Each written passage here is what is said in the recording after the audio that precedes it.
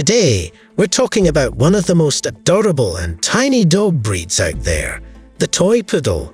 With a name like that, you'd think they were just for play, but don't be fooled. These little dogs are so much more than just cute. Now you might be wondering, just how small is a toy poodle?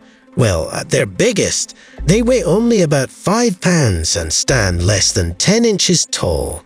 Some of them are even smaller. That's tiny, right?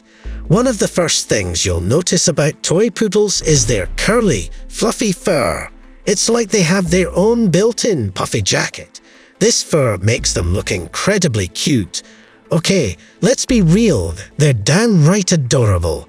Now, here's a fun fact. Despite all that fluff, toy poodles don't shed much. So if you're someone who's allergic to pet hair, these little guys might just be perfect for you. But their cuteness isn't the only thing that makes toy poodles special.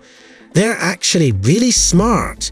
These dogs learn quickly, bond closely with their families, and are usually pretty chill. They're not aggressive, which is a big plus if you have kids or other pets. However, there is one thing to keep in mind. Toy poodles love being the center of attention.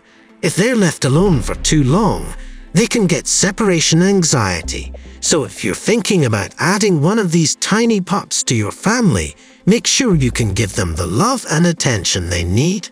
All in all, if you can handle their need for attention, you might just end up with a truly amazing dog that's perfect for your family.